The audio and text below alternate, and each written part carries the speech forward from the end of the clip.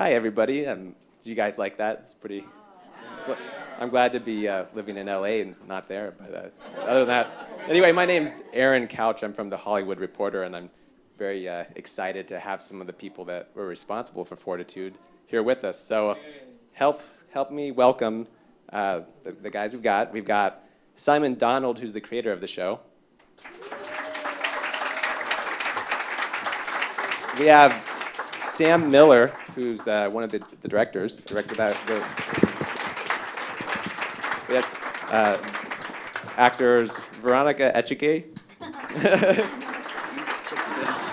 Richard Dormer, and uh, Luke Treadaway over here. So, thanks, guys. So I'd like to start with um, Simon. Uh, how did you kind of decide that this was your next project? It was originally a very short idea for a, uh, an independent film. And I told the idea to the executive producer, Patrick Spence, and he really liked it and thought if we completely reworked it, um, and developed it uh, to take place in a community, we would have a much, much longer uh, project. And the story would run across 12 episodes as it does now. Um, and the idea of um, setting a police thriller in a place we'd never been to before was just really, really exciting. And we took it to Sky Atlantic.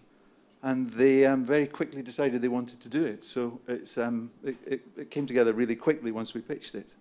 You didn't feel like you know, you sign up for a movie or you think of it as a, a movie and then uh, you need 12 hours after that. I mean, how, do, how does that process work? Isn't that intimidating? Well, the original idea would, would never ever get financed because it was going to be set in Siberia and it was going to be all in Russian.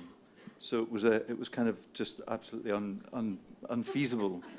Um, but setting it in somewhere where they spoke English changed everything. You know, it just made it suddenly a lot more um, likely. Um, but also, originally, it was, it was an idea that didn't uh, require us to build up a, great, a, a, community, a whole town. And once we grew the town, uh, it just, the whole, th the whole project grew with it. Now, how true to you know people that live in these communities is this? Minus the murder and all that. You know, did you do research that sort of thing to what it's like living there in something like this? We did. We, we, there was only one place on the planet that we could find that where the story really worked. We, there's certain ingredients we needed. You can see from watching it that it, it was important that we had a place where something could come out of the ground that had been hidden there for, for a long time. So we needed permafrost. And there aren't an awful lot of places that have got um, a university, uh, a police force, an industry and a small community that's really isolated, where they speak English, uh, and permafrost. So we ended up in Svalbard. Polar bears. And polar bears, we needed polar bears as well, yeah. um, is that the answer? Yeah, yeah. yeah. So now, um, Sam, once, uh, once you know, you, you, you or get all these ideas, you, you have to make it happen. So how do you approach that, uh, shooting in these conditions and that sort of thing? Yeah, I, mean, I think the thing that, um, you know, the, the kind of intimacy and the truth of Simon's script is the thing that first hits you when you read it. Uh, the, the accuracy with which he writes relationships and sort of simple things that happen between people. Um, and then when you take those ideas, having become involved in the characters, you take them and realize, you know, the kind of the framing of that, you know, being in this wilderness. And you realize that that's totally integral to the thriller element of the story, you know, the fact that, you know, it's set in a community that's right on the edge of everything, that's on the edge of where it's possible to live um, it becomes a really exciting prospect. You know, it was like, wow, I've, I've not seen that done for a while, and that's you know that's going to be very interesting to to try and make happen. Um, for us, going to Iceland was the kind of furthest north we could get, where we could still be supported. You know, where we could you could maintain, um, you know, a television film shoot um, if we'd have actually gone up to Svalbard, we probably wouldn't have lasted more than a few weeks because mm. you'd never, you, there's nothing to come in and out of there. So uh, mm. we felt that Iceland was as close as we could get, the furthest north we could get, where we'd get the climate and the weather conditions and glaciers, you know, and all the rest of it without, uh, and still be able to support a film unit. So that was really the, the basis of that. And then we found a village where we could model the community, and so we could model community and build the sets back in London. So we sort of, the shoot was split, sort of half in London, half in Iceland. Um, but for us it was also important to have a kind of a seamless um, connection between the interiors and exteriors. So there was some really clever design went on to make you not realise that the sets were in London really. But, so. Yeah, I wouldn't have guessed that from watching it. That any of it was shot there. And Yeah. Did um, did you run into any trouble with the elements? You know, when you were on location. Bizarrely, we had a, we had we had an issue with lack of snow at one point, which kind of drove us nuts because we'd come all this way, and it was so cold but no snow. it was kind of their warmest winter, so there were a few weeks where we were, we were actually flying snow in from London because that's the best place to get it from. It's like, what? There's a company called um, Snow Business who, who that's what they do. And where are they? They're in London. So uh, yeah. so anyway, they, they got very wealthy on the back of us. So uh, they're very happy. Um, it was really cold in London, actually. It was colder, in colder, London. colder in Hayes, in the studio. Yeah, we had a terrible time there. That, that's Yeah. surprising. Worse than in Iceland. Yeah. Yeah. yeah, at times. But but the um, yeah the problems with what happened with the lack of snow, is sometimes forced us to go higher up and go into higher ground. So some of the scenes we relocated and moved up mountains and moved up into more wilderness because there was more, you know, the elements were much better for us there. Um, and generally, the, the awareness of freezing to death was always present. You know, as we, we managed to, we invested in some amazing clothing. Well, Richard, you know, I don't know what to think about your guy if he's a if, he, if he's a good guy or a bad guy, if he's a good sheriff or a bad sheriff. How much do you know? Did you know about him when you shot the pilot? Did you have to understand his whole story, or did you were you just given a little bit? Well, um, um, uh, Simon um, filled me in basically on the the broad scope over the over all the episodes. You know, the, because I really needed that to know where I was going to. You know, to be able to pitch it right. Um, so Simon had told me the whole story and what had happened before and what's roughly, you know, what's going to happen. So I did. Uh, I, I knew quite a lot before before starting. Yeah. I, I'd like to say a really interesting thing happened when Richard started playing Dan, which was I was still writing um, certainly the second half of the show and a bit more than that. And I started seeing what he was doing in the rushes, and it completely changed the way I wrote the character. Um, there was a quality that there was a really unexpected thing going on, which is a sort of there's a doubt in the man. There's a sort of a, a- a sense that he, he's afraid he might be weak and that was so much more interesting than what I'd actually given him in the opening couple of episodes, that it became something that, that we explored um, across the whole se- series. And it was really interesting to be able to react. I've never been in that position before, to be able to react to a performance while we were still writing the material. And that was great. And it was also interesting whether we were sort of at odds as how, how much to reveal about the series to the cast as we were as we were shooting, because the, the the the series goes in quite a s an extreme dark place, and it was how much to let people know this was going to happen or whether to withhold withhold. And we actually ended up withholding quite a lot of information, you know, because we're like that. but it felt rather than anticipate where it was going, because you wouldn't want the audience, you wouldn't want to be see where you know you're going to do this or you're going to do that to actually hold it back a little bit. So. Veronica, did you have anything, you know, like that where you, you had information held back, and what, how did you feel about that? How did, did that help your performance? I don't know. to be honest, um, I think it, it, it was an, a very, very challenging experience. I think the most beautiful experience I've ever had working because we had, I mean, we didn't know where we, where, I didn't know where I was going, where my character was going, but I had Simon and I had Sam, and it's, it was so interesting to work as an, as an actress, as you are. Um, to get i knew where i was coming from and i just i just have to follow my instincts and i'm very um, i'm a maniac of this and i work a lot and i do a lot of research and i think it was very very good for me not to have information and just trust and trust uh, sam who's got incredible instincts and he gave me a lot of um, interesting stuff to work on that I didn't I didn't even think about. I mean, I was trying to defend my character from from the gods, and I was trying to. I knew that she wanted she wants to fix. I mean, she no, she wants to fit, to fit in this community, and she wants to start from scratch. but I'm, and I, I started to realize with um, with Simon, with Sam and Simon that um, her nature, her real nature, is um, is taking control over what she wants. She wants to be part of this, but um, she's provoking a lot of situations uh, that she can't really control. And I found that so interesting that I was really working on that conflict all the time. And, and I, I don't know, by the end of the series, I, I got to understand everything, but after, you know. and I really enjoyed it a lot. And um, so, and what about you, uh, Luke? With uh, your guy has kind of got the raw deal so far that we've seen, right? He's thrown into a cell. So, uh, where, you know, what drew you? It gets much, much worse. It gets worse. I thought it was going to get better. That's okay. So, well, he probably has a great journey then, right? Is that what drew you to this, or? Yeah, I mean, similar. We, you know, I, we had only seen the first couple, so I didn't know where it was going to go. But um, I think, in a way, Vincent's, you know, the eyes that you follow landing in the place, and he's the kind of new arrival, and the way in which you sort of leads you through meeting some of the first people and stuff. And so, um, and I think throughout the series, I kind of had that on me as well as like an actor as well. Each episode would come in, and I wouldn't know where it was going to go, or um, you know, one episode I'll be following a certain theory of what's causing some stuff, and then and I'd invest in that and think that's maybe what it will be, and then I'll get another one, and it's and that hasn't worked out, and so it was. I was kind of like Vincent going through it as well. I didn't really know where it was going to go each week, and and that was that was exciting. I enjoyed that as well, and um, and it was different, so it was a kind of new challenge. It was good. And and we should be worried for for your for Vincent. Sounds like.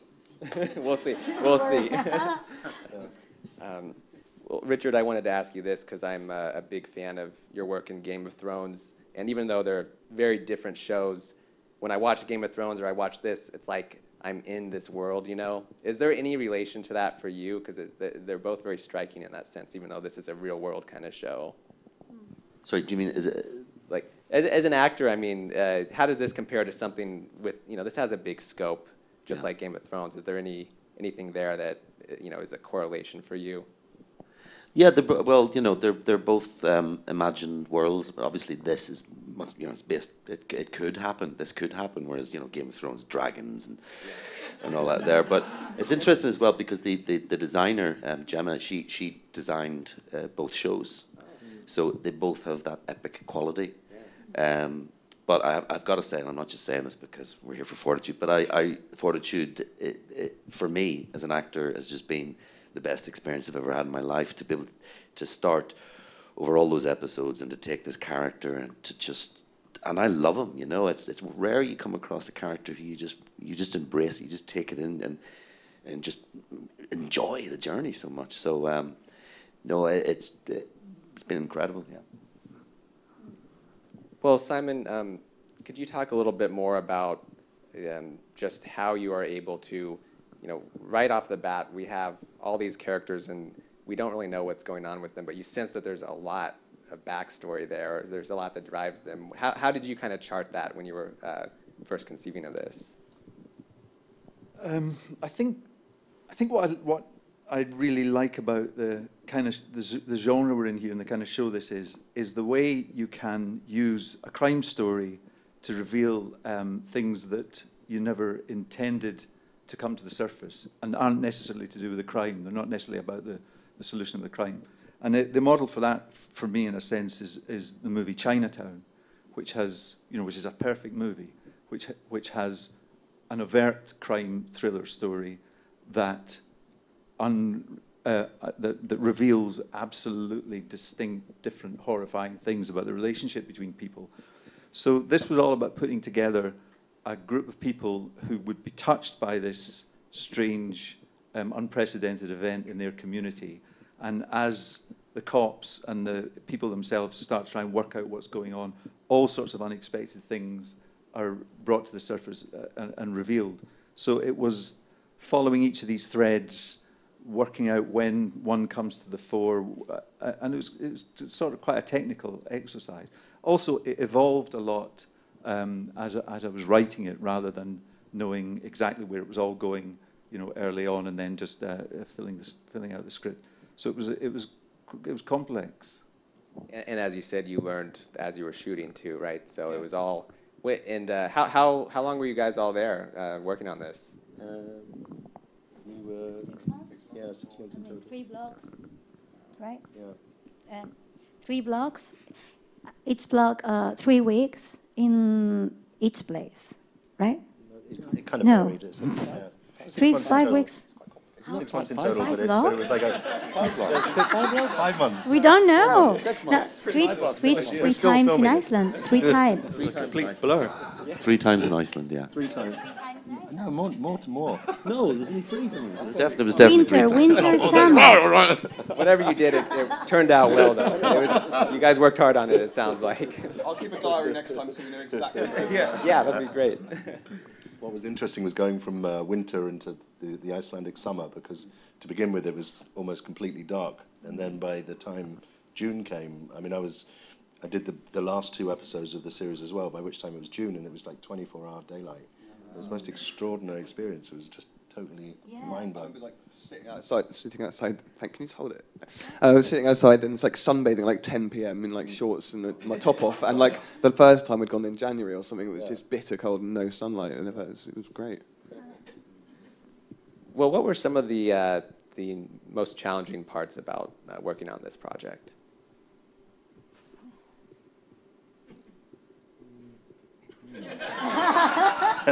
Handling the actors. I, I had a day when, when we were when I was in the script room on my on my own with with the script editor when we had our uh, twelve whiteboards for each episode uh, up on the wall, and it was a Sunday afternoon, and we were tired. We'd been writing for months and months, and it suddenly didn't make any sense at all. And there was just uh, there was three hours I think where we were we were kind of shaking and thinking we can't let anybody discover this. we have to somehow uh, hide it and disguise it and fix it and shift it all around. And it was absolutely horrifying. It was really, really. It was like we're going to be found out. We're going to be, we're going to be in trouble. And and we kind of eventually saw there was one problem that was just appearing all over the place. It was one storyline that was messing everything else up, and it was a really, really early storyline that we'd all that we'd hung on to, and it, and it just needed to go in the bin. And when we pulled it out, everything started to join back together again. But it was a nightmare. It was a horrible afternoon. You didn't. None of you knew.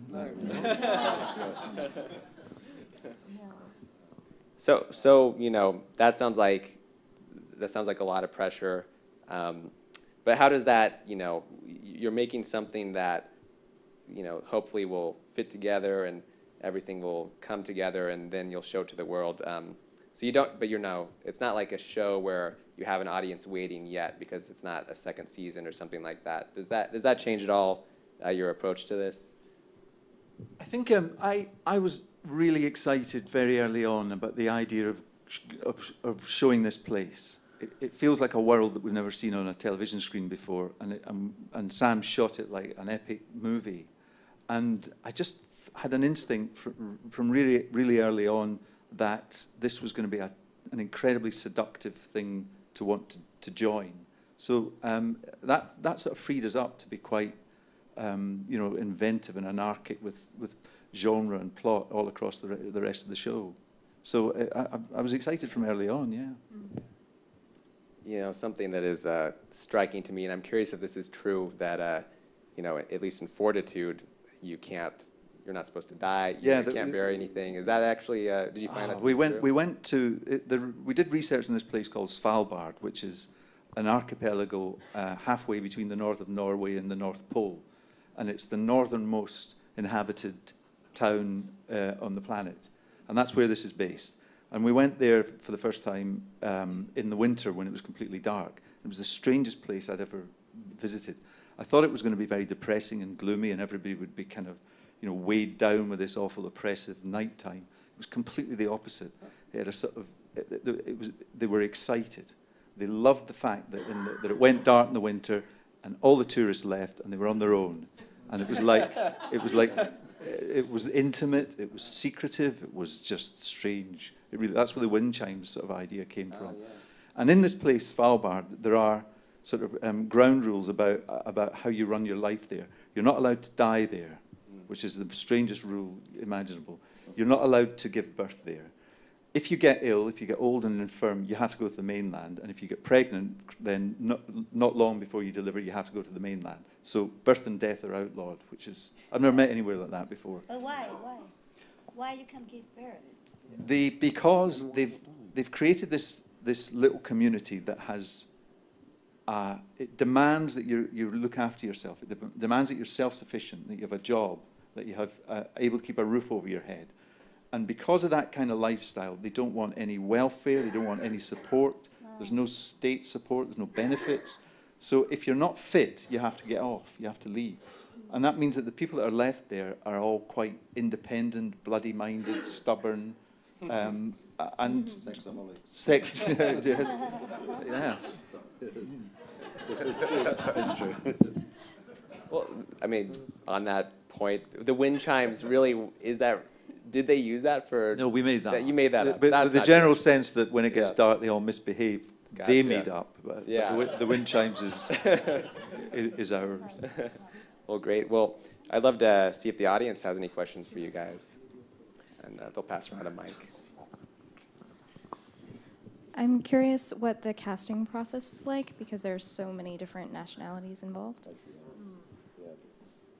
It was, a- it was a really uh, incredibly involved um, and fascinating process to embark on trying to find, trying to create the community and trying to get the right caliber of people and actors that would fit together. Um, what was exci- what was really exciting about it was that we were genuinely creating an international community.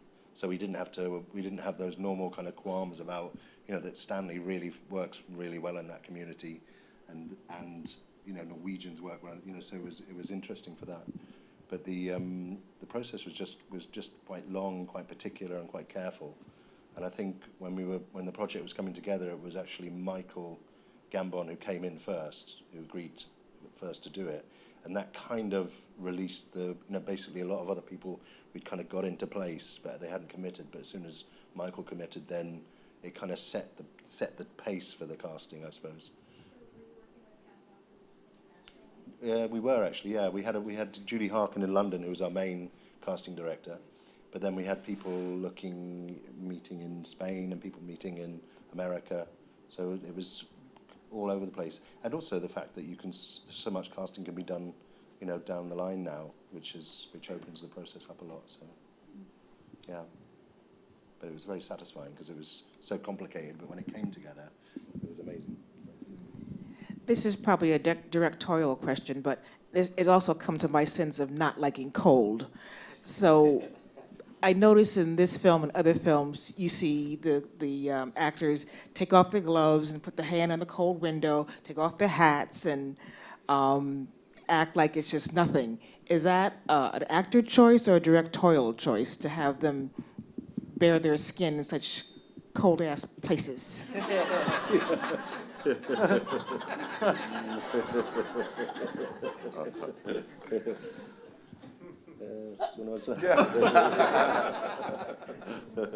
yeah, I mean, people have different, re- different. I mean, actually, being there in Iceland, the interiors were actually surprisingly warm all the time. Mm-hmm. So you did go into this sort of, you know, where you stripped off, boots came off, coats came off, gloves came off quite quickly. Otherwise, you start to sweat all the time. So you were in this slightly either very cold or very hot sort of mm-hmm. world. Um, I kind of tried to keep everyone really covered up, you know, because I was aware that when as soon as necks are exposed, you know, in that in minus twenty, you don't do that. So um, there were a few. So the sex outside in that big garage with the door open, that was what? listen, that kind of that kind. No, let me tell you one thing. Yeah. I. Uh, um, I um, I didn't feel cold. I, I'm a very I'm a very cold person, but not there, not even there. I mean, I I was I'm Spanish. I hate cold with all my heart. Just I can't stand it. I if I can s- talk, I just get very angry. And I uh, the days we were hanging around, I I don't know for some reason I was thinking, I love walking with this terrible cold, and I'm enjoying that. I feel not—I don't really feel cold. I think last year was not a really cold year in Iceland, unfortunately. because of the this uh, snow thing. But um, I think also because I was very, I don't know. It depends on your, the moment of your life. I think, uh, how can I explain? Sometimes I, cold really makes me calm down, you know, and um, because I'm a very excitable person, I really didn't, I really didn't suffer, especially that night.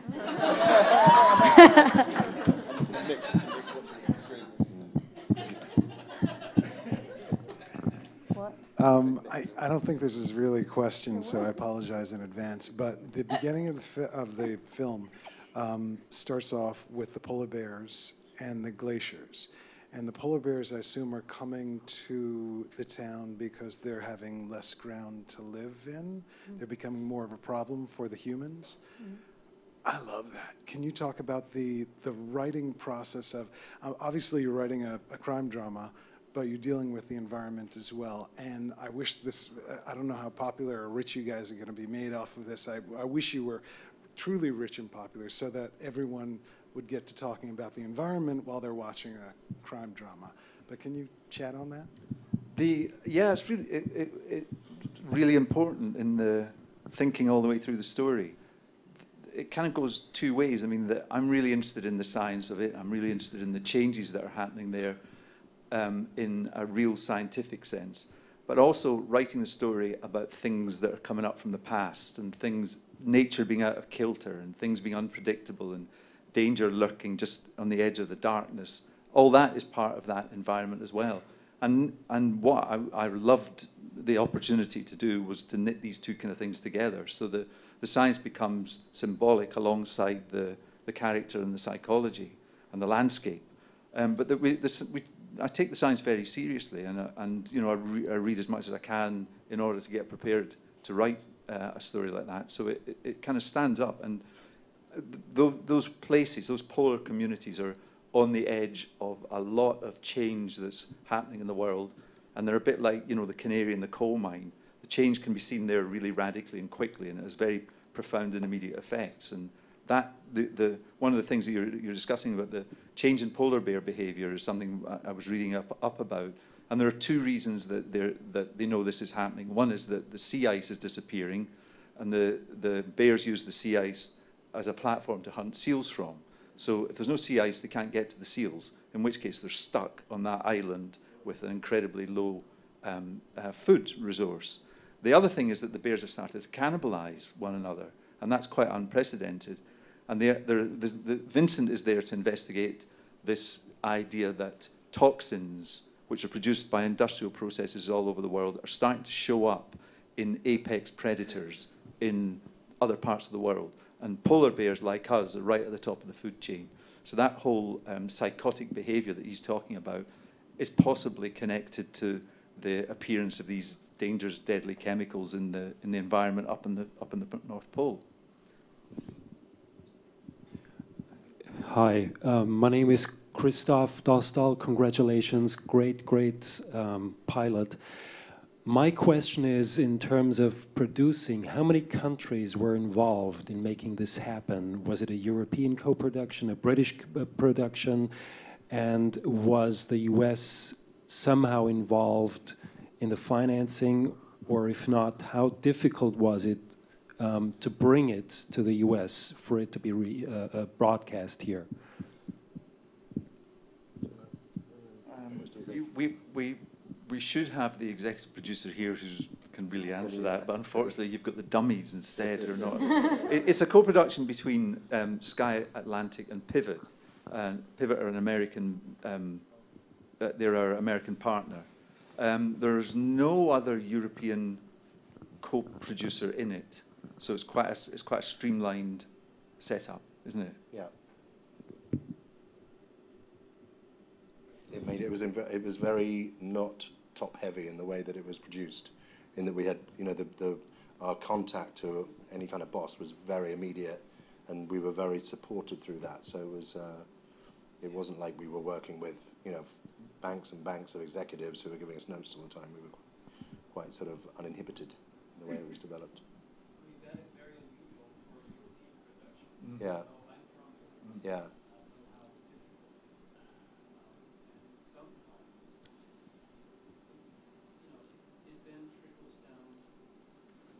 Yeah. Yeah. No, we were we were lucky. I mean, it's yeah. I think Sky Atlantic very much try to base themselves, see themselves as a kind of HBO style um, approach to program making. So they very much hand the initiative over to the to you know Simon and us on the floor. So. I've never worked on anything with such unqualified support from Yeah. from the, the the company that was making it by a long way. I mean, Sky Atlantic's attitude to this was go further, go darker, go stranger. Um, you know, take us as far as, as you want to go. That's really, really unusual. And, I- and I think, I, I, yeah, there was not there was no compromise coming at us.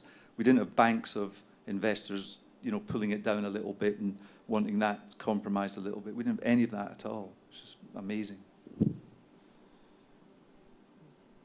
Yeah, I want to ask you about Stanley Tucci. Compliments on getting him in the cast in that scene where the uh, dead bodies there and they have the confrontation. Then they look at each other. Uh, that that was a great scene, and you know, like I said, compliments on getting Stanley Tucci. He's such a great actor and everything. So, great job. Thanks.